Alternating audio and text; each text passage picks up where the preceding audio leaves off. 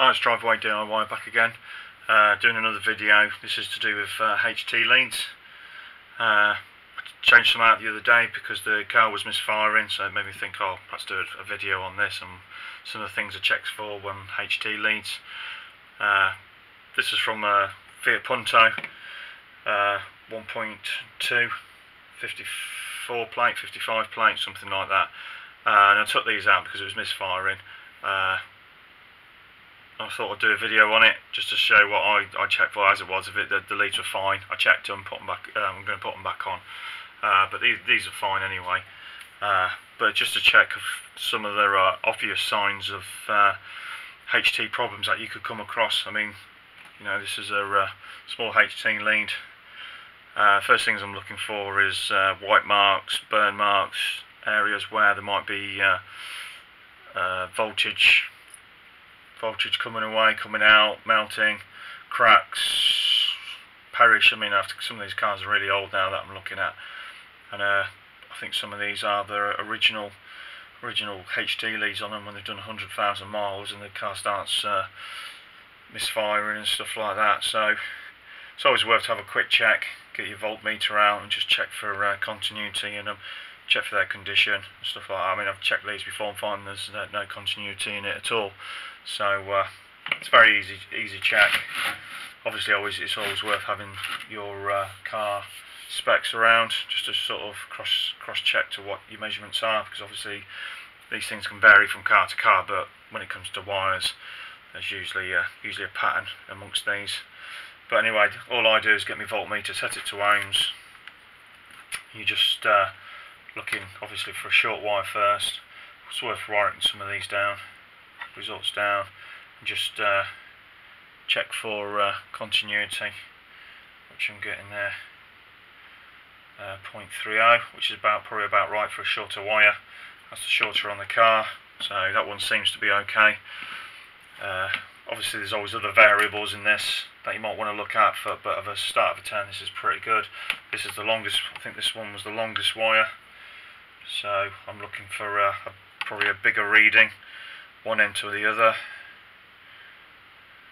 Uh, 0.75, point, yeah, 0.75. So that tells me, because that, this, this wire is longer than that one, so the resistance is going to be uh, higher. Because obviously there's more wire, so uh, that's that one. Uh, here's another wire, it's very similar to the one before.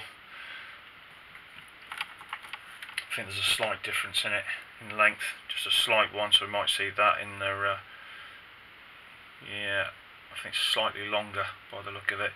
0.79, so that's a good strong reading for that wire. Uh, and that's uh, second from shortest, shortest wire, so obviously a lower reading than the last two, but higher than the shortest wire, so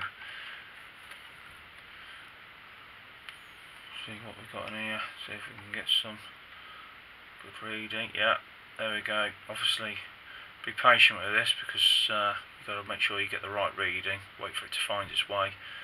Sometimes you've got to scratch the metal to get through. 0.54, which is about right, we'll go for 0.55. So that's about right, so all these HT leads are fine. Obviously if there's no reading, then there's no continuity, and uh, for electrical items, it's uh, there's no continuity, there's obviously a break. Well, there's plenty of videos out there and breakages and wires and stuff like that, but for misfires and things like that, always check your HT leads. Looking for resistance or too high a resistance or too low resistance or no resistance at all or breakages, cracks, things like that, voltage leaks, all that sort of thing. It's always worth looking at before you uh, go out buy an expensive new set of leads when you didn't even need them in the first place. Diagnosis is always the, the key key value here.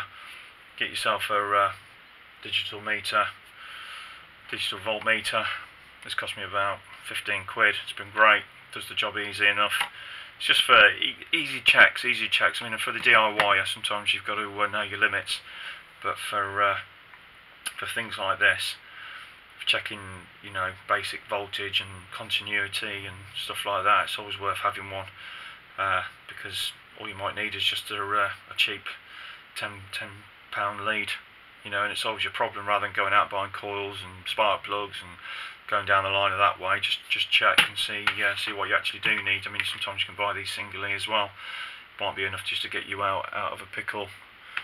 Uh, yeah, and that's pretty much it really.